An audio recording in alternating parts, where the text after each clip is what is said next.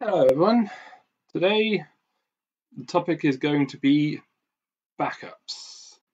An important part of making sure that when you have data, well, that you keep on to your data because occasionally in life things can go wrong and sometimes yeah, well, you will need some form of contingency. If you've got important data, whether it's for work or you know, sentimental reasons or to engage in a hobby, then, well, if that information suddenly disappears, then you've got, well, that can be bad.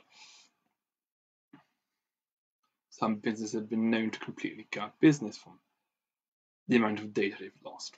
That's so it's an important thing to be aware of. I mean, so, so that's important, and there's so many different ways that things can actually happen. I mean,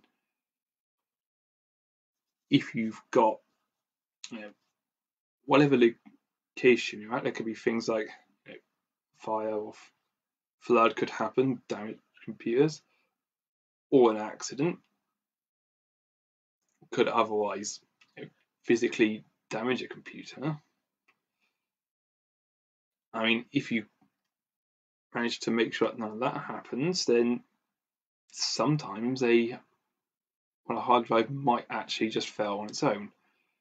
Being full of moving parts that move quite a lot, a lot more than you probably realise, while they can last quite a long time, eventually parts wear down. So if you've only got data in one place, then then if that place becomes inaccessible, then you've got yeah quite a lot of problems. Other things that can attack your data. There are certain malware attacks that can do so.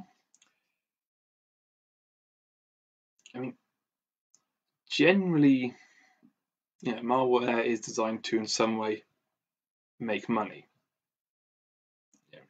It's going to be a purpose behind what it does, and so while that would usually involve more likely stealing data, sometimes there is ransomware which does actually well encrypt your data, tell you you can't access it, until you pay the money into an account. Or something like that. generally an account set up in some way to be hard to trace such. Often that's using not literally normal banking currency but would be some alternate currency. Bitcoin's been used for that which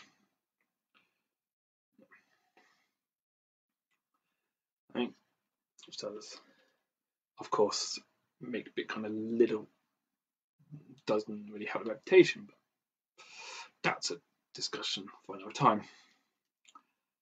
I mean, something that's got the data on could, in some cases, literally be stolen or vandalized for various reasons. I mean, well, particularly any lightweight phone or computer or laptop would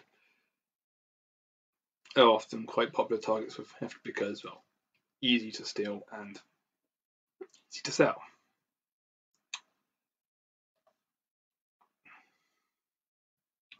And so that's a lot of basics of what's likely to actually get rid of your data that you really want to keep.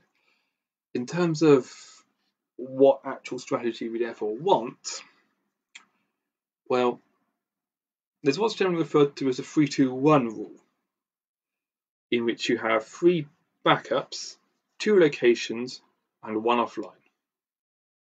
Now, in this case, of course, having three backups is very useful because one goes down, then you've got the two others, and well, the more backups you have, the safer it is.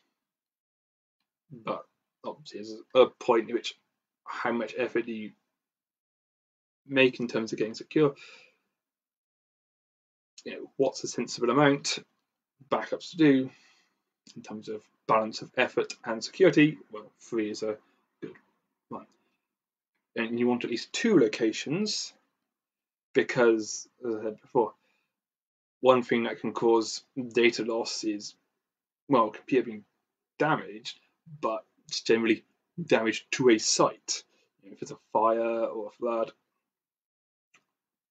then yeah, if a place has something really bad happen to it, you hope it doesn't, but well, you hope that doesn't happen. The entire subject of backups is entirely about things you don't want to have happen.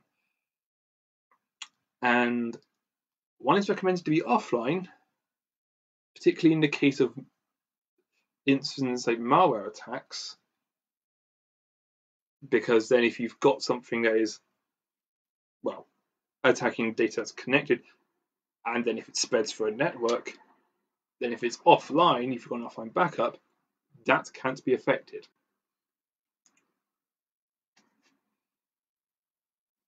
I mean, in terms of, of course, then, what if you had a malware that was kind of lying in wait and such, so that you had situations of backup? Well, it's generally advised to have well multiple backups in terms of what time it is. And generally, it's the way you generally do it is one way that's considered a good idea is having like daily backups and then one like and then just having one for that week and then as time goes on then it's just for a month. And so, so you're not literally backing up every day just most recent days and then further away from that from the time it's gradually getting less individual backups because the more historical data is, the less likely you are to need the immediate sun backup.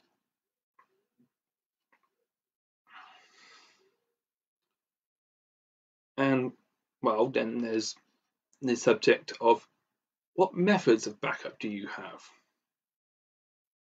I mean, those basic options are getting like a spare hard drive that you put things in that you're not having under constant use so that keep that secured in a place of dust not going to get to it and that should be usable in case of self problems if something happens.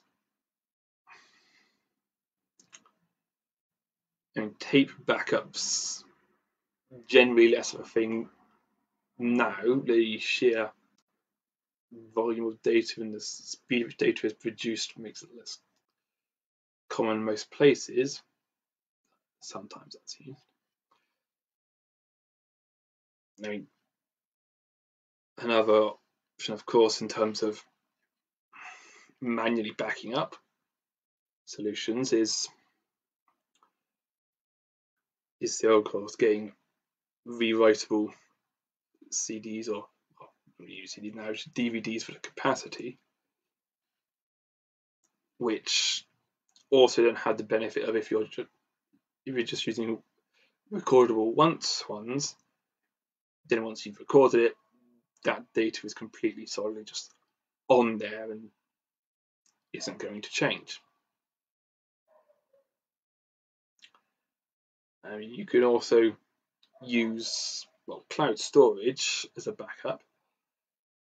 When using cloud storage, it's generally also backed up generally in case you know in case the cloud service provider itself experiences a problem in these cases, they can restore quite quickly.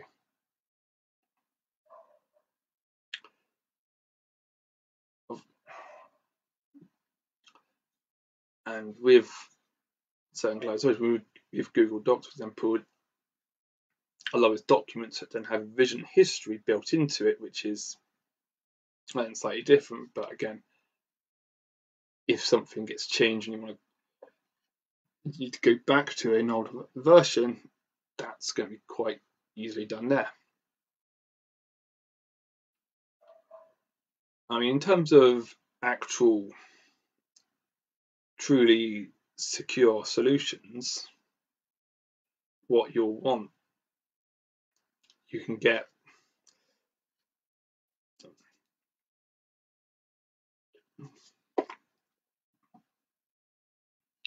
You can get a subscription to a backup service where I'll provide you with dedicated hardware that can plug into your computer and manage the backup through that. That will then back up securely. They can hold it online instances and and such solutions generally tend to come with also again, ransomware protection built in and that will provide complete peace of mind in well any situation with, with a managed solution then you can have all of your concerns taken into account there